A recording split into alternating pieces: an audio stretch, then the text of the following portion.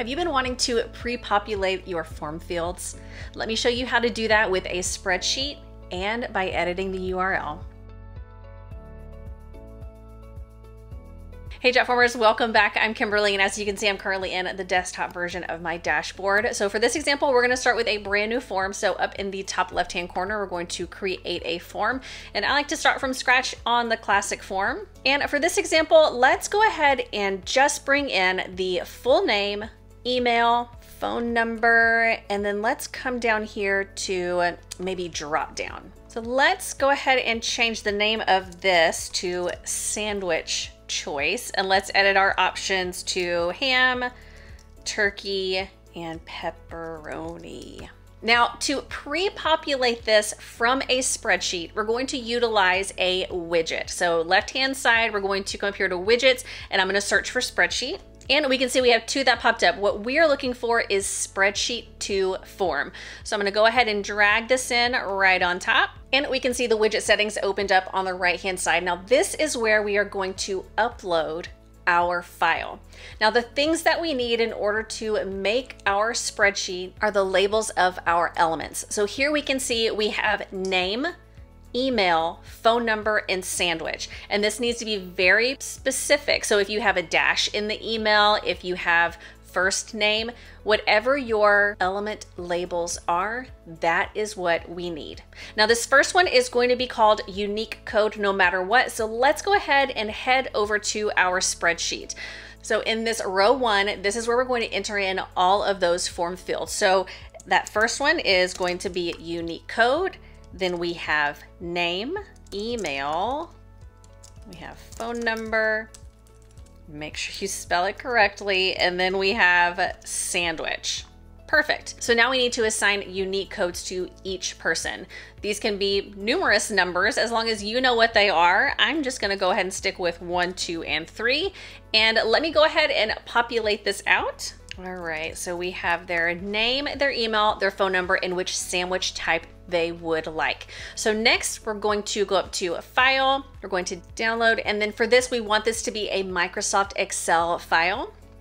And we're good to go right down here. So let's head back to our form builder. We're going to upload a file and open. So we are good to go. So next we need to choose which column our unique codes are going to be in. It's going to be that unique code. And that doesn't have to be in the first one. It can be at the end if you want it to, just as long as you come here and you choose which column it is in. And we should be good. Let's go ahead and update the widget.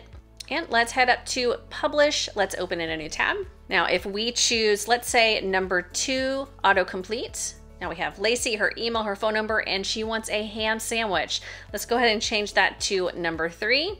And now we're on Catherine. Now, another way that you can pre-populate a form is by manipulating the URL. So in order to do that, we're going to need some details from our form. So I came back over to the builder and let's say we want to pre-populate their name. So if I click on the name field, I'm gonna head to properties, up to advanced, down at the very bottom, we have the field details.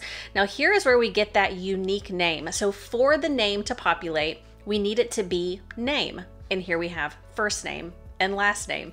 So let's head back over to our form. We can see our form URL up here at the top. And in order to make this super easy, you can utilize the help article to copy and paste to make this really simple for you. That's exactly what I did. I'm gonna paste in and we can see here. So we have that original URL at the beginning. We have a question mark. Then we have name, then we have open bracket, close bracket, first equals Jane. Then the ampersand sign is telling it that we're gonna add something else. So we have name brackets last equals Doe. So let's go ahead and hit the enter key. And we can see now that it's filled with Jane Doe. So if we head back over, let's look and see what email is. Let's just verify just to make sure. All right, so the unique name for email is email. So let's head back. So now we have their name. Let's do the ampersand email. Now we did the brackets for the name because we had two different fields within the one. So because email is its field on its own, we don't need those brackets. So we have email equals, then we'll do jane at gmail.com then enter. And we can see jane at gmail.com down here. So let's see what phone number is. Phone number with the N capitalized. Let's head on back. We'll do ampersand phone number equals 867-5309. Enter. And now our phone number is filled, but it's as simple as that. If you want to keep going, just make sure that the unique field ID is correct before you start plugging and playing. If you have more questions about pre-populating fields, maybe from another form, definitely check out our user guide for more information on that. If you like this video, be sure to hit that like button down below and don't forget to subscribe and turn on that bell so you get notification every time we put out a new video. I'll see you next time.